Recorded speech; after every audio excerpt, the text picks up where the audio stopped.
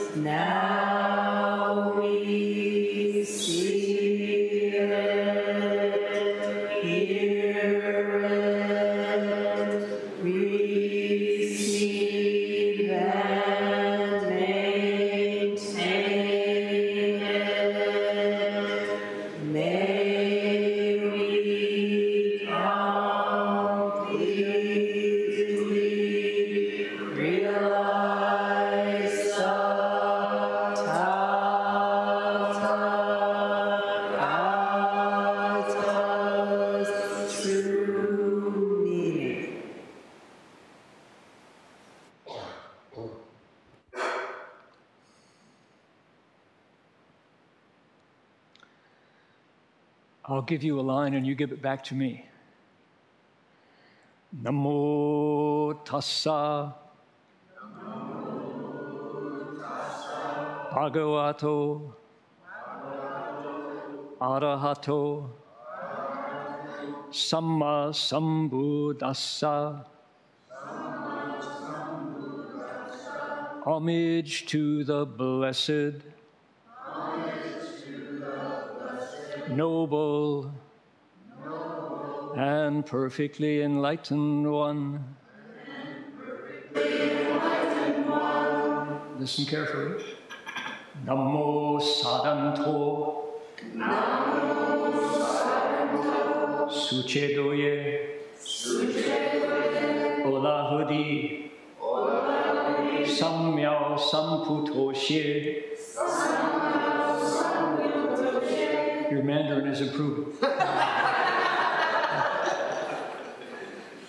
Reverend Rinson, Reverend Doan, Dharma friends, family, it's a pleasure to be here. I'm delighted. My name is Heng Sure uh, of Toledo, Ohio, by golly.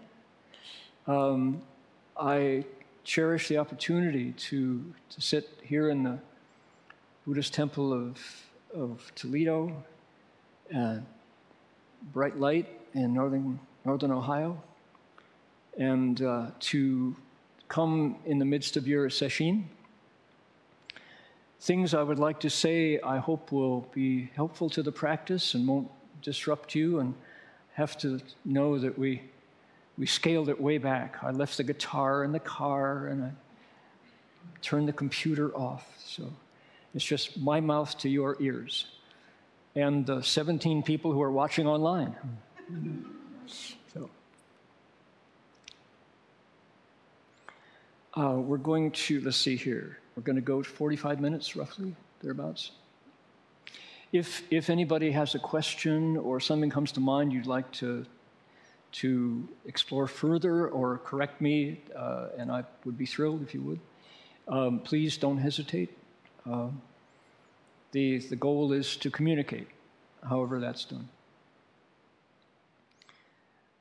So let me give you just a little bit of biographical background so you have a sense of, of uh, the kind of the roads that I've walked.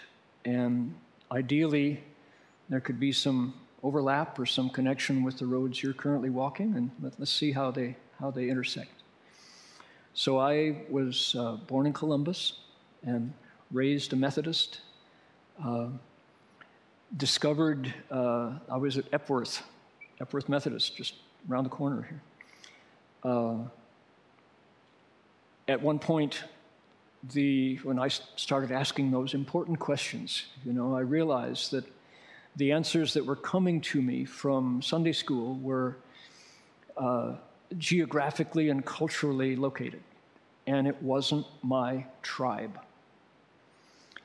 I didn't relate to the sand and the camels and the palm trees and the dates and the burnt offerings. And, and the, we had a, a wonderful uh, minister, Methodist minister, a series of them actually, who, uh, when I told him that I wasn't connecting, uh, he didn't threaten the spiritual violence, he didn't send me to hell, he didn't, you know. He said, Well, keep looking, son. So I went on Central Avenue to the Sigmund Sanger branch of the Toledo Public Library, by golly. And there on the Eastern religion shelf were three books. One was Khalil Gibran's The Prophet. Anybody remember? I'm, I'm dating my son, some of you. Good. Boom, you do. See, deep roots.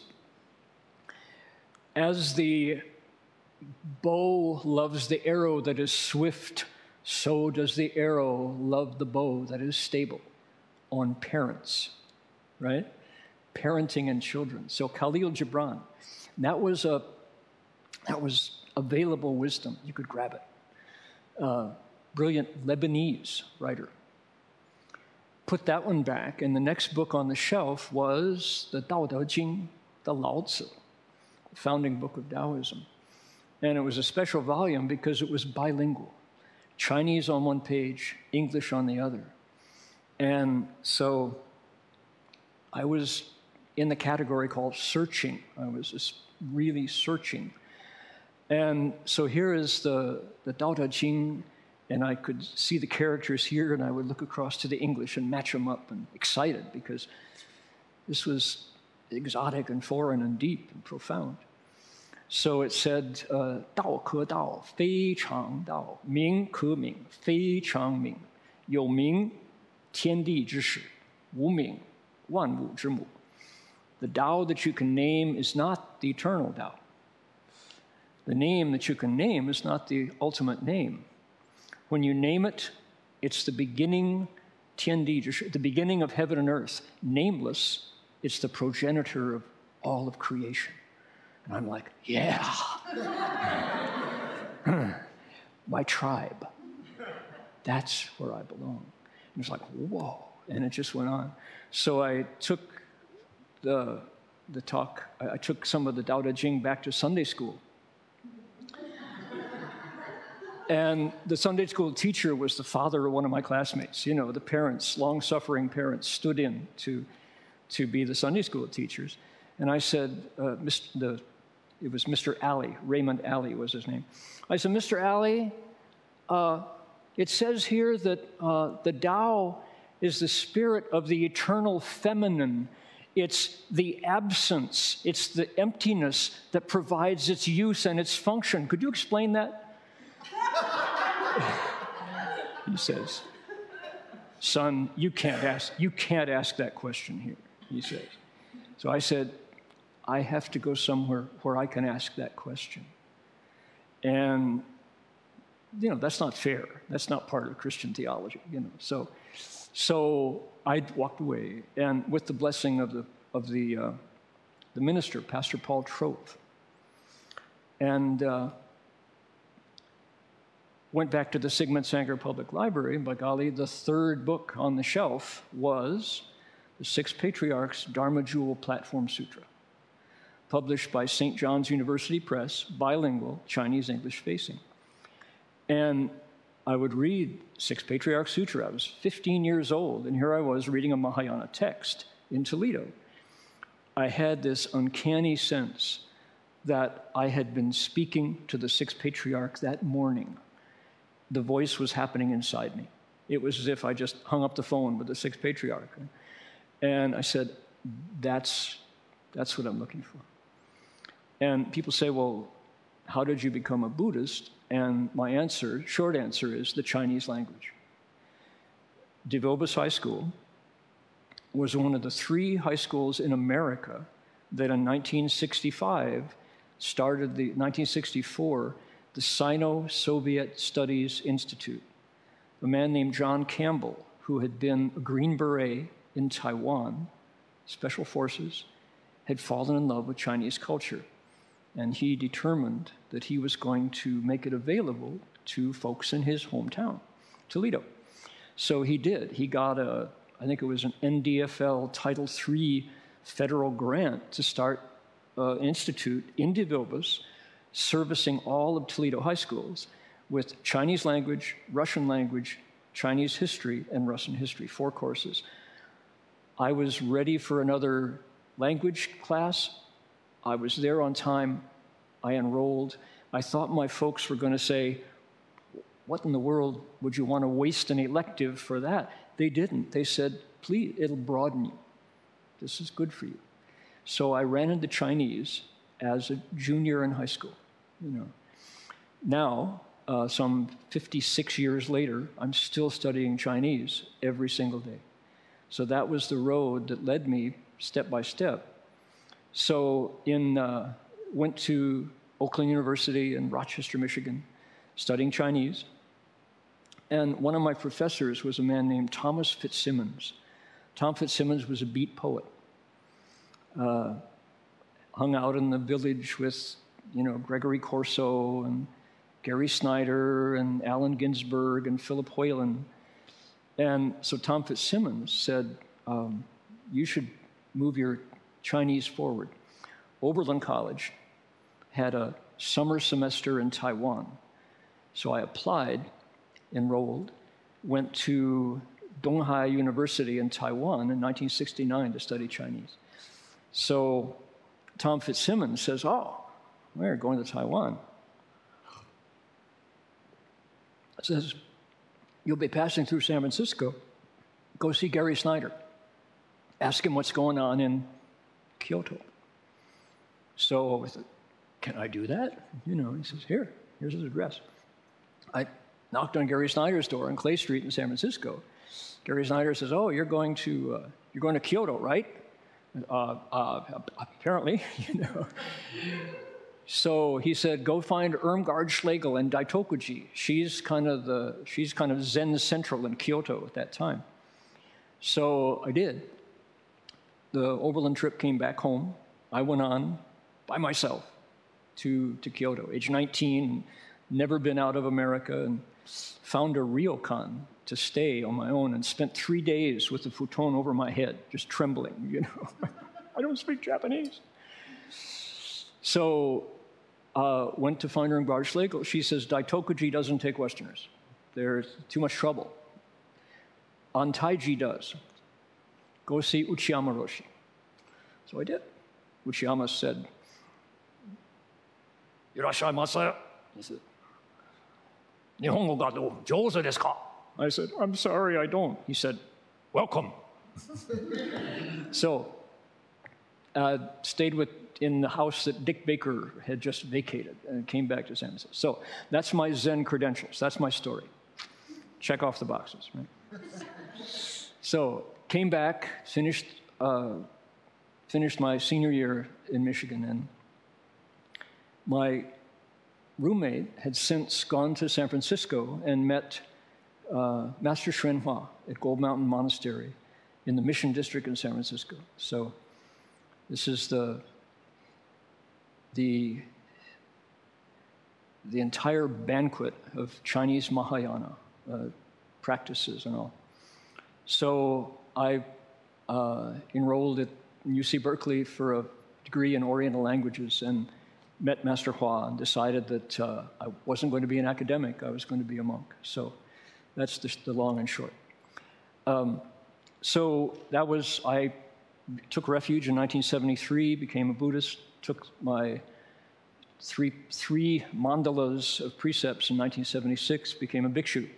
So that was, since then, I've been uh, following the Avatamsaka Sutra.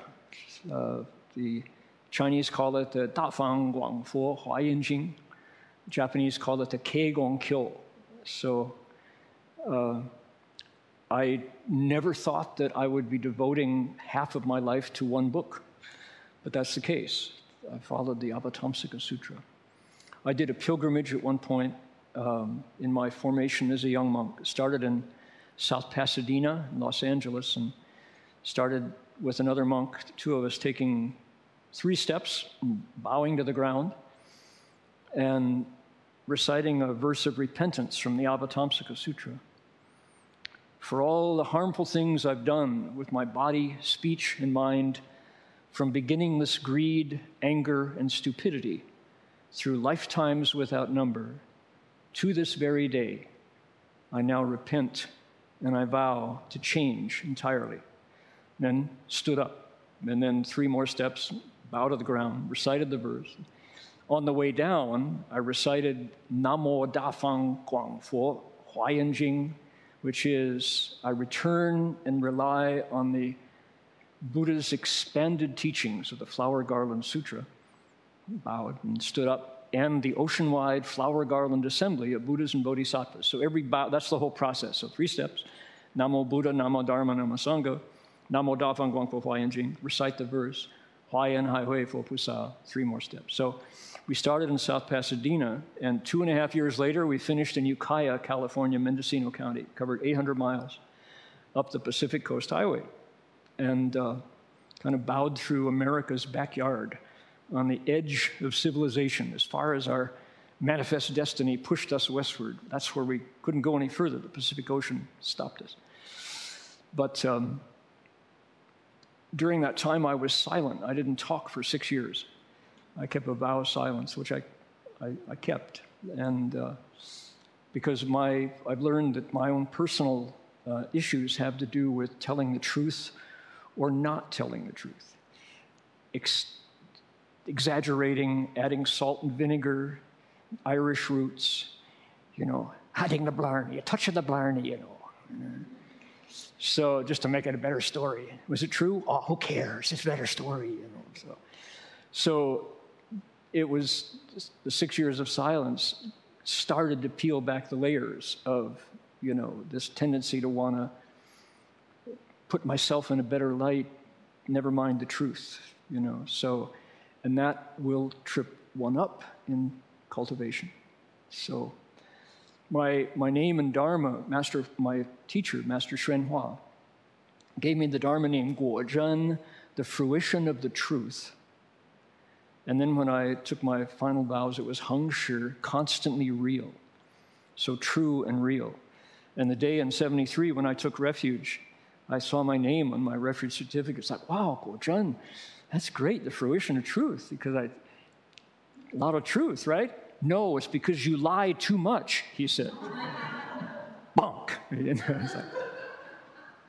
nobody had ever said that looking not at my eyes, but at my soul, you know, and it's like, so I had, we see ourselves in the mirror the way we're, we want to be, you know, not the way we are. So, anyway, um, so it's been, for me, the, the, the process of cultivation after all these years is tuning in to when I stretch the truth and trying hard to, to uh, catch that bad habit. So, all right, so that's, that's enough about me. The, um, here we are sitting. Uh, you have a really vigorous schedule. Your daily schedule is, is the real deal. You're really sitting and coming face to face with, with your mind. And uh, what I wanted to uh, share, I think I might be useful, is to put a little context around that, and from what how I'm understanding it these days. And I, to to be fair, I want to identify myself in the wider Buddhist community, which is to say, you know, the prince Siddhartha wakes up under the Bodhi tree, and his teachings went down to Sri Lanka early, and then across to this called the Southern tradition to Thailand, Burma, Cambodia, Laos, Theravada, still very much alive in the world, the, the monastic tradition. And they went from India again east to China, Korea, Japan, Vietnam, Mahayana. So Theravada, Mahayana.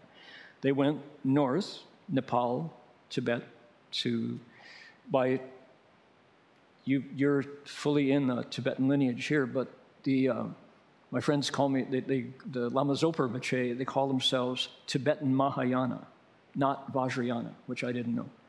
Vajrayana is a, one part of Tibetan Mahayana, the way they call it. So then we have Theravada, the elders, Southern tradition, Mahayana, and we're, we're striking Hinayana from our vocabulary, pejorative, right? Smaller vehicle.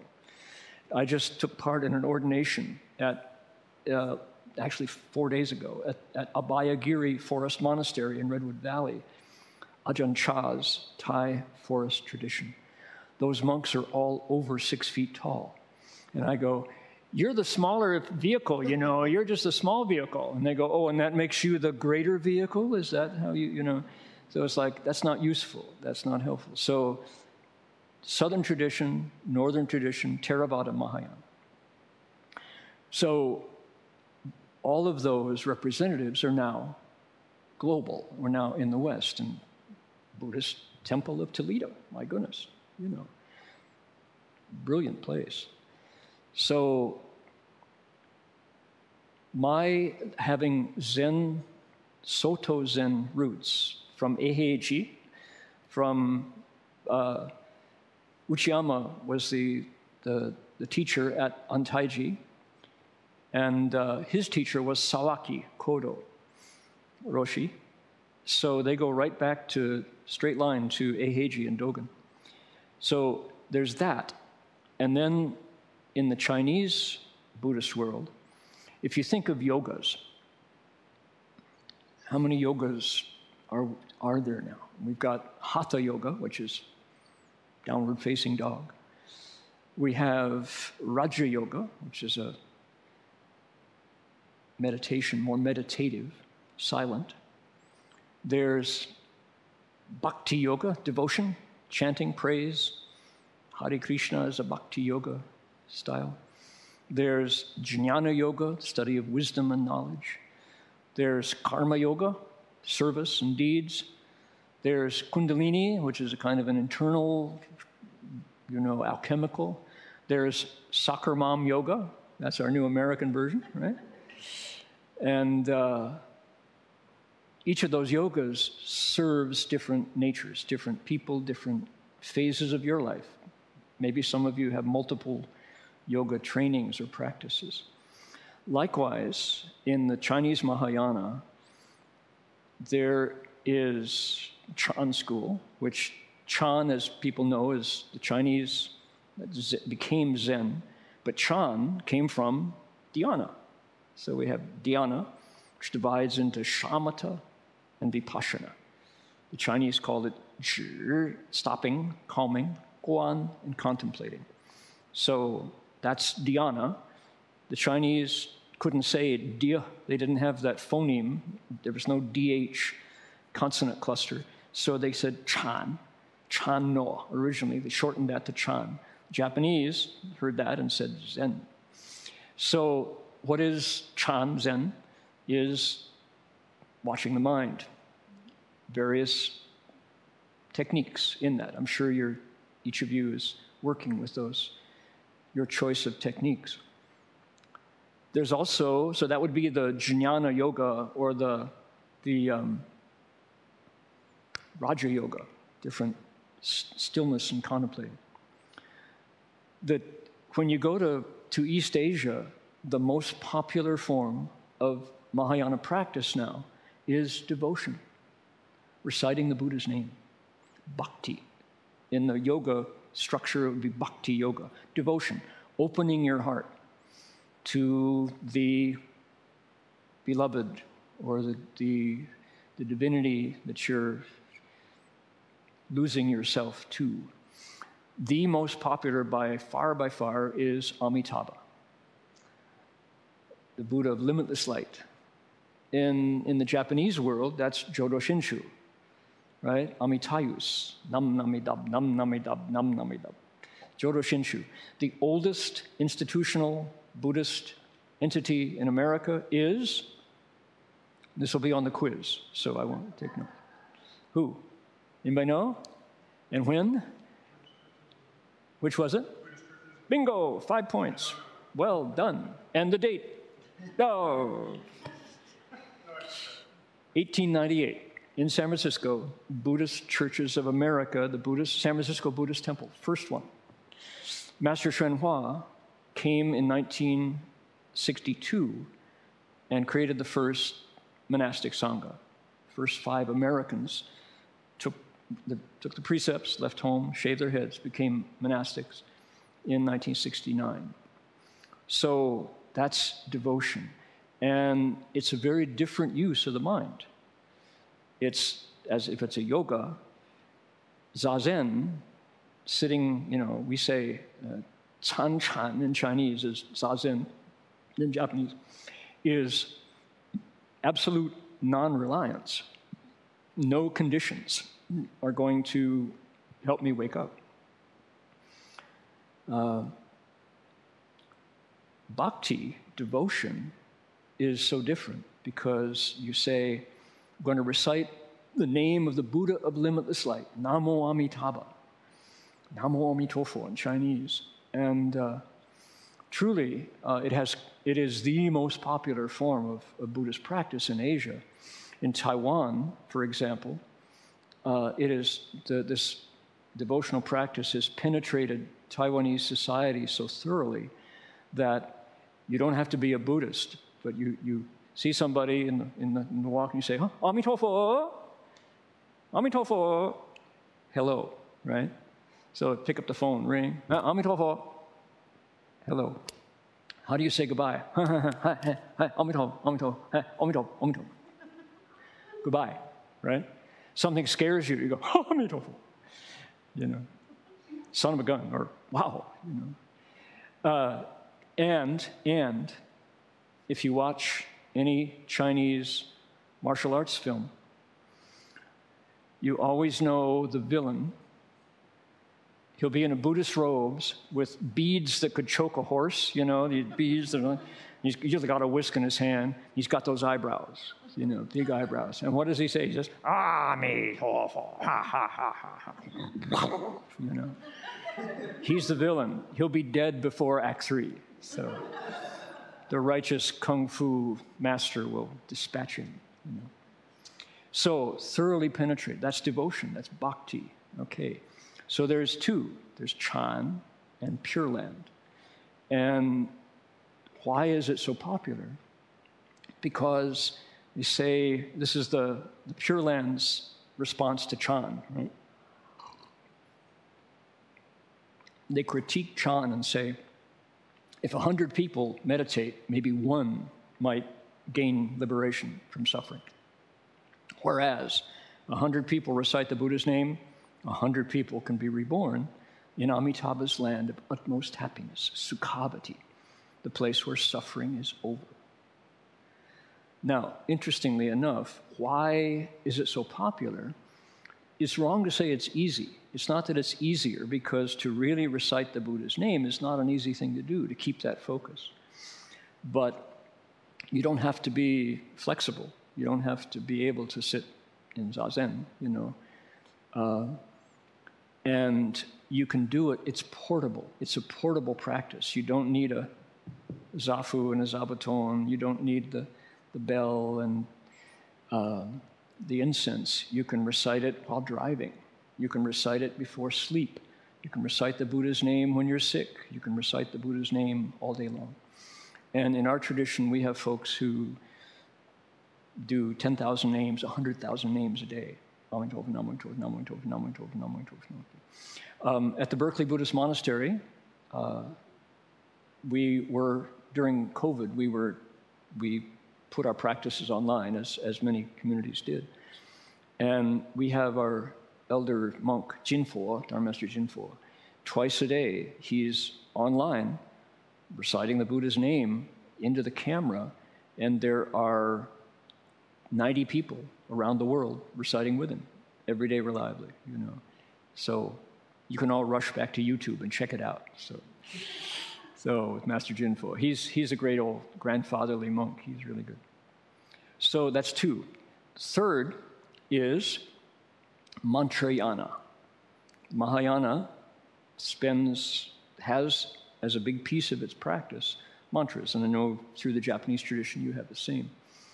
And these, uh, for example, we're up at four in the morning. First thing we do every morning is recite the Shurangama mantra. 15 minutes, one mantra. We just recited a piece of it. We went Namo Sadanto Suche Doye Olahadi Samya Sampadoshe. That's piece of the Shurangama mantra, the start of it. Homage to the blessed, noble, and perfectly enlightened. So that that's followed by what are called is the great compassion mantra, Mahakaruna Dharani, and then the 10 small mantras, followed by the Heart Sutra, which you all do in your, your style. And every day. So the Mantrayana is um, not as popular because you have to learn the mantras. In Japan, it became the Shingon, Shingon Kyo, right? Uh, that's three. Number four is the Vinaya school, which is to say, for celibate monastics, we've got the, uh, the Vinaya rules. And if you look at the Tripitaka, the Buddha's canon, there's three, por- tri- Tripitaka, three baskets sutras, shastras, Vinaya. So, sutras, words of the Buddha, shastras, commentary on those words, and the Vinaya is the Buddha's rules for organizing the community. How do you make new monks and nuns? How do you discipline monks and nuns? What do you do when it's time to go alms rounds? How do you uh, pass on lineage? How do you uh, determine authority within the cetera? You know, community rules. So there are people who love that study. They would probably be Buddhist lawyers, I suspect, would be the ones who would warm up to the Vinaya. It is tends to be a little dry, you know, but uh, either that or you're a Virgo, right? Virgos go for. You. Not necessarily. Some some Virgos. All right. Finally, one more. These are called the five schools: Chan, Pure Land, Mantrayana, the Vinaya school, and the last one is Chinese is called a Jiaozong, and it means the teaching school, the school that focuses on what the Buddha said, words the Buddha spoke. And the it's to say it's academic, yeah, more so than Chan, which tends to, to set print aside. But the teaching school, Master Hsuan Hua, my teacher in religion, um, came to America, he said one of the great virtues of Christianity is how they have put a Bible into every hotel room in every hotel in the world in the local language Gideon Bible, right? How wonderful. You're in Spain, you open up Gideon Bible in Espanol and you go to France and it's French. So he said, How many hotels do you go to and you open the drawer and you find the Diamond Sutra? Why not? Why not? These sutras are wonderful. The Lotus Sutra, the Shurangama Sutra, the Avatamsaka Sutra, the Amitabha Sutra, the Earth Store Bodhisattva Sutra, the Medicine Master Sutra. Founts of wisdom these it's a mirror for your true face. You look into the sutra and you see yourself before your habits and preferences. You look into a sutra and you see the map back to your, your original mind. You look in the sutra and you see the blueprint for building the house of wisdom that you aspire to, to accumulate, right? And yet, if you don't speak Chinese or Korean or Japanese, they're basically silent or Tibetan.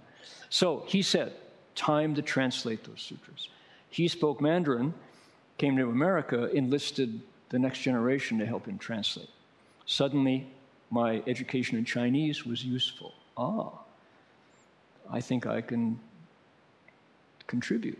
You know. So, so every night for 30 years in America and Canada and wherever Master Hua was, he at, we did evening chanting, 6:30 to 7:30. 7:30 opened up the sutra that he was explaining, and got a translator, one of us sitting there, and he would 10 minutes of explanation doing exegesis, right? Doing, if you're Jewish, it's midrash, right? Doing midrash on the text and saying, Ba, help me translate. We'd turn off the Sony reel to reel tape recorder, roll it back, watching the counter, you know, and then press the button. And Shifu said, da da da da da punk. Uh, he's, that, what I think he said was kong, you know, it was Chinese after all, you know. And it's Buddha Dharma, which was often, you know, uh, requires real stillness to understand. So, and then we would reach the end, record him again. So after 30 years, we have this body of wisdom for the West. Because the audience, we're sitting in a converted mattress factory in the Mission District in San Francisco, freezing, called Gold Mountain Monastery, and Master Hua was interpreting the Buddha's words for the West. And that's the teaching school. And it's a long line of monks and nuns who said, Let's find out if the Buddha speaks English. Sure enough. However, boy, I'll tell you, what a process. At first, you know, the, I, I got there in 72 and became a monk in 76. And uh, with that, uh, the break for my pilgrimage, came back and continued the speaking again, continued the translation. At first, our ability to understand the Chinese was really limited. We grew listening to his Manchurian accent. It was very pure Mandarin. And our knowledge of Dharma was, you know, a thimble, teaspoon, you know. And yet, as we listened, there seemed to be this rarefied wind blowing through Gold Mountain where suddenly doors opened. You could, it made sense. And it wasn't opaque and it wasn't foreign. It was speaking from inside. And of course, the process was we were removing the coverings of our mind, which is the work of cultivation. You're all doing it right this minute, this week, and this lifetime. So bit by bit, it started to clear up. But then translation is is a it's a it's real gongfu. You know, you get it's you're working with streams of consciousness and knowledge and custom and and uh, linguistic uh, paradigms and you know convention and stuff. Um, slang comes into perfect example. Perfect example. There's a phrase called uh, uh, so miao fa, wondrous dharma. And at one point, people were, how do you translate the miao? Miao is wonderful, exotic, marvelous, special, all these words. And uh, one of our, our frontline translators, a man named David Rounds, came in one day to our regular scheduled translation gathering. He said, Oh man, he said, I'll tell you what, he said, We sure can't use the word awesome anymore. Said, Why not, David? He says, I was just at the, uh, the Black Oak Coffee Roasters, and the barista asked me for my order. I said, uh, Soy latte. He said, Awesome.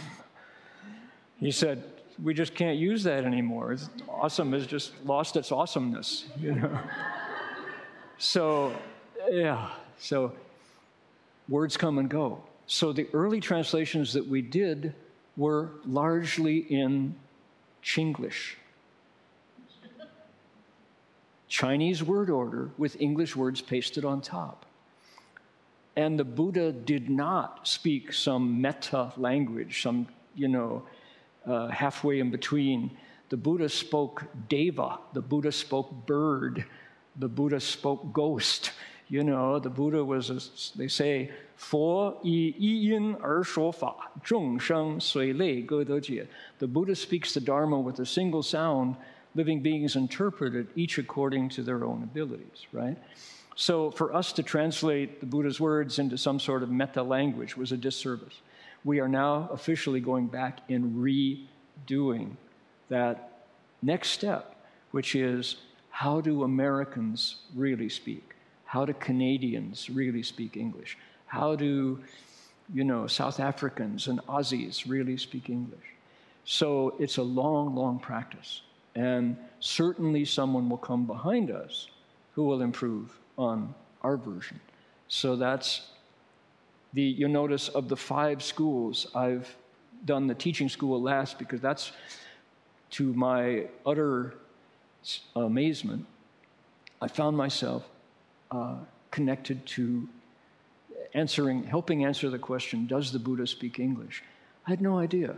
When I started, like everyone else, I read the Three Pillars of Zen, Philip Kapleau, and I read Alan Watts' The Way of Zen, and I read D.T. Suzuki's, you know, Zen practice and all. And I wanted to get enlightened, you know. As the late, great Huston Smith, the professor of religion, said, I was whoring after enlightenment, you know. I would sell anything to get enlightened.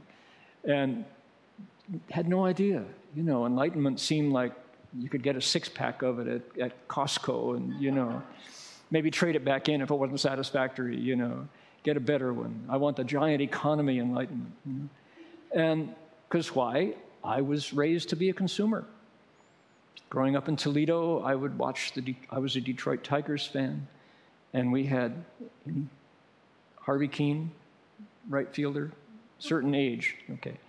So what was, what did we hear listening to Ernie Harwell report the Tigers games? We heard Brusha, brusha, brusha, get the new Ipana with the brand new flavor. It's dandy for your teeth, right? Bucky Beaver.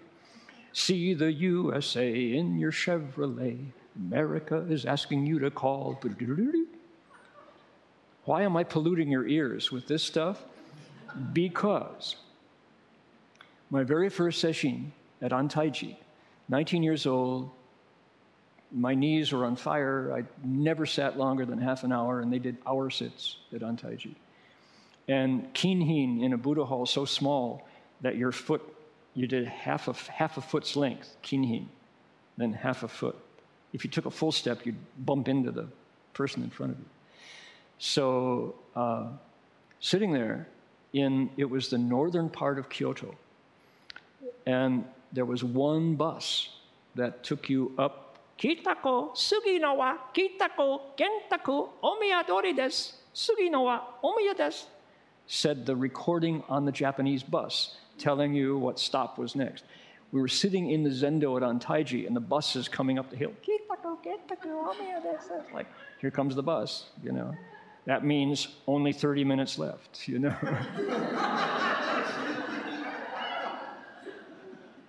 and we've faced the wall.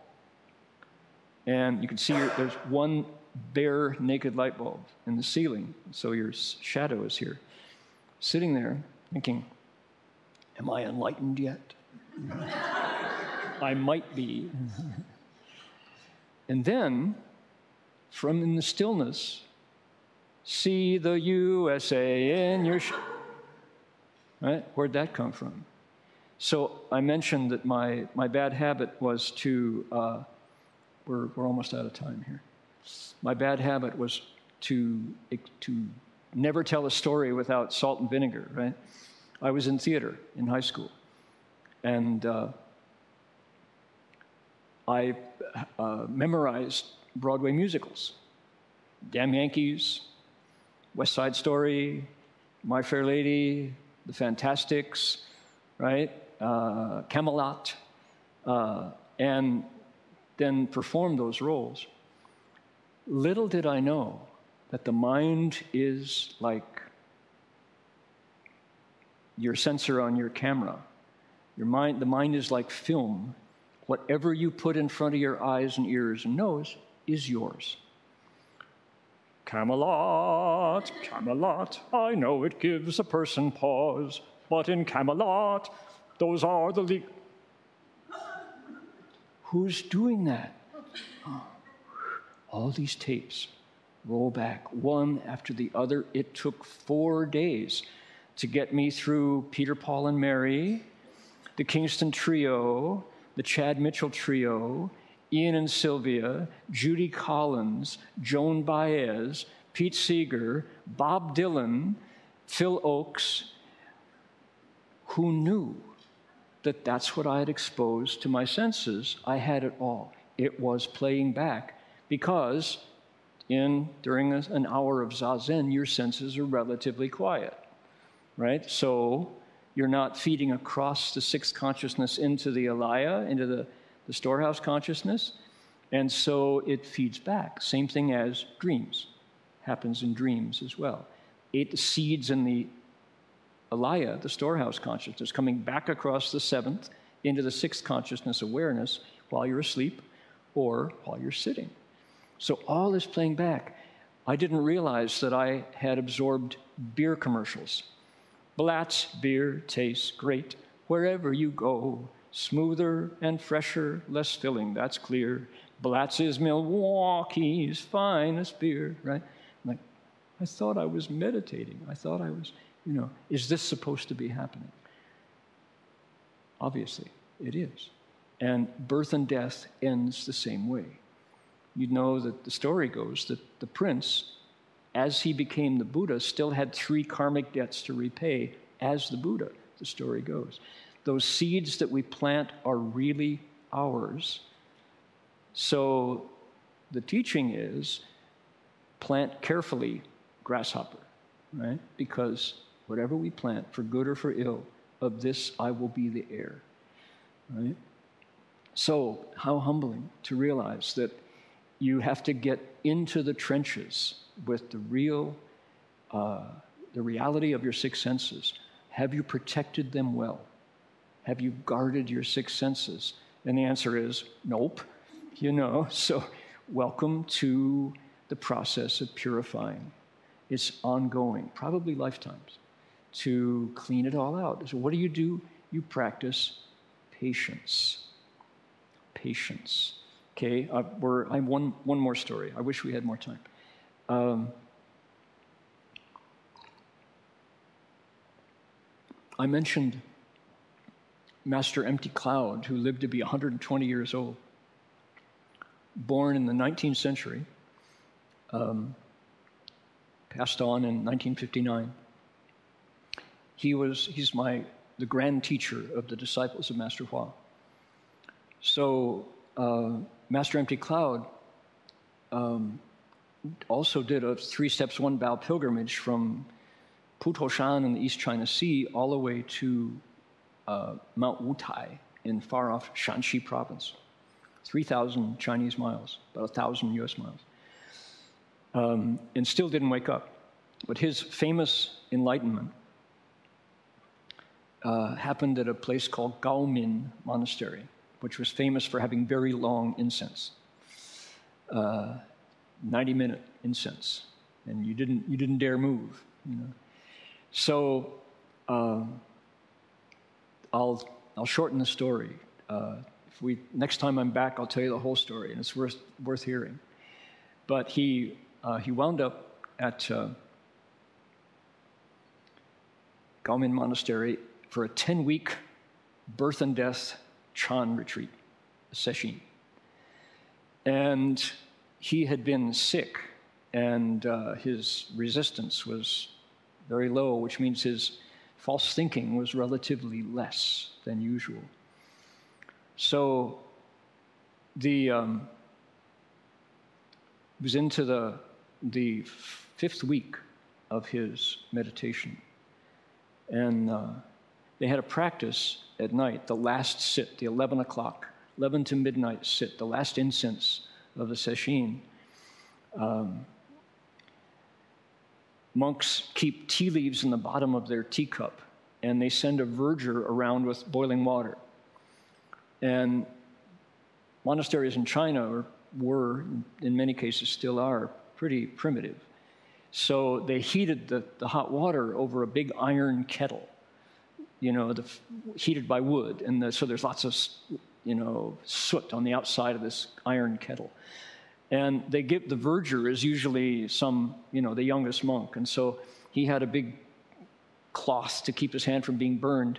And he goes down the row, and the monks hold out their cups, and he pours water in. Well, he slopped the water over the cup and burned the hand of Master Empty Cloud. Dropped his teacup, and it went on the spot. He woke up And his previous 56 years of effort came to fruition in that moment. And the tradition in China is when you wake up, you have to write a poem. It's required.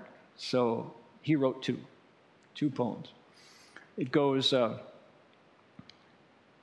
北自普落地，香声名历历，虚空粉碎也，况心当下歇。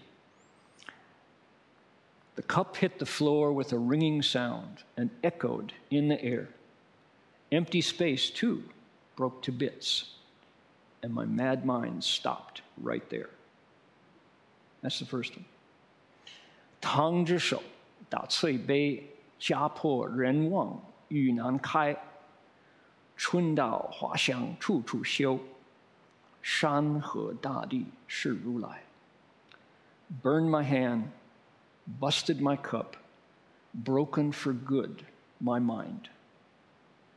Like my family, it's lost. People are gone. Words are hard to find. Spring is here. The flowers breathe their fragrance to the sun. Mountains, rivers, the earth itself are just the thus come one. So if you look at those, so the first, the, the, the first poem is just those four lines, but the second one is eight lines. And he says, Burned my hand, shattered my cup, broken for good my mind. Like my family, it's lost. People are gone words are hard to find. So the idea is when consciousness turns to wisdom, it's really empty. And emptiness does not play favorites. There's no sympathy for you, for me and my habits and my faults and my preferences, right? It's empty. The void is cold. Nothing. And it leaves you with that feeling. It's bracing for sure, but wow. Kind of get lonely for, for a hug, you know. However, that's called true emptiness. But the Mahayana, but the Buddha's wisdom arises from compassion. They say, Zhen Kong Bu Ai Miao. True emptiness does not obstruct wonderful existence wonderful existence doesn't obstruct true emptiness. They are not two. Spring is here. The flowers breathe their fragrance to the sun.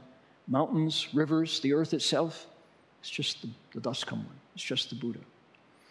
So, in the midst of that emptiness, it's all back. It's all a gift. Without effort, flowers come back on their own. So, to hear these two poems, one looking dead on into the void, saying, nothing. And then in the midst of that, oh, look at that. Raphael Warnock won. So, yeah, it's a gift. So, that's the, the poetry of a, a truly awakened Zen master. Then he went on, at age 56, that was the first half of his life, right? Went on to the other half and walked and talked in China and around the world. So. All right, uh, thank you so much for your attention. And may your efforts as you go through the door of Zazen and the practices that you're, you're discovering, it's every step takes you deeper into your heart. And I, uh, for, for a decade, I taught Buddhist Christian dialogue at the Graduate Theological Union in Berkeley, California. And one of the conclusions that I, one of the things that appeals to me the most about Buddhism is that 90% of the world's religions have a theos, have a divinity, have a God. Theology, theos. He's up, he or she is up there, out there, you know. And somehow the idea that you at one point hope to replace God in the firmament up there, blasphemy. You don't. You know, like there's a gulf between you, there's a chasm. Buddhism, among world's religions, doesn't do that. We are not atheistic. We are not polytheistic. We are non theistic, which is to say, we don't, this, our story, all religions start with a story. Our story does not include this divine, powerful being. Instead, Buddhism says, turn it around. Here's where you look. And no matter how you, what, how you start on your search for the Dharma, the promise is, depending on your vigor, your patience, your virtue, your kindness, you will replace the teacher. You'll become the Buddha. All living beings have the Buddha nature and all can become Buddhas. It's only because of false thoughts and attachments that we don't know that. So, I, among other world religions, that's quite a message, isn't it? That you will keep walking and replace the founder. That appeals to my bone deep democratic nature as an American, you know. So I like that. So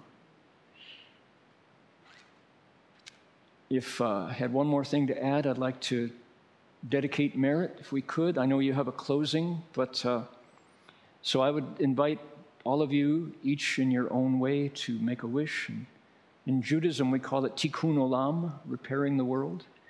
It's only by good wishes that it happens. So make that wish, however you'd like to share your goodness. May every living being, our minds as one and radiant with light, share the fruits of peace with hearts of goodness, luminous and bright. If people hear and see how hands and hearts can find in giving unity. May our minds awake to great compassion, wisdom, and to joy. May kindness find reward. May all who sorrow leave their grief and pain. May this boundless light dispel the darkness of our endless night. Because our hearts are one, this world of pain turns into paradise. May all become compassionate and wise. May all become compassionate and wise. I'll give you a line, you give it back. May all become compassionate and wise. May all become compassionate and wise. Amen.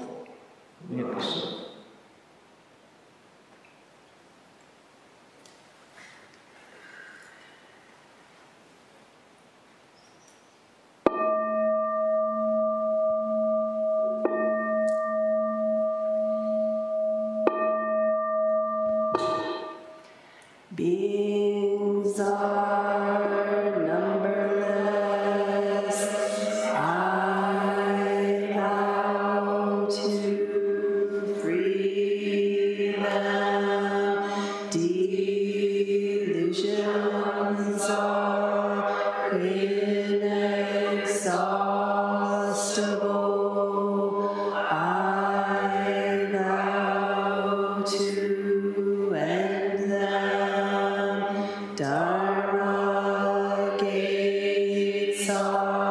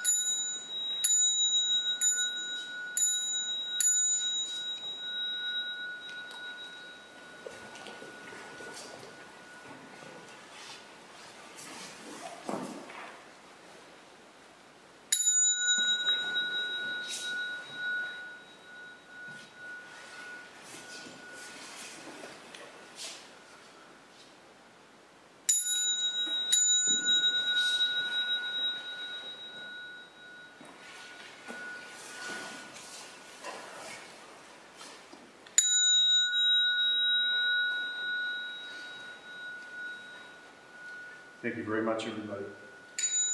Um, We'll be moving into extended outdoor kinhin. Um, Hoshi, I'd ask you to lead that. Uh, I'd like to see the clergy back in the ancestor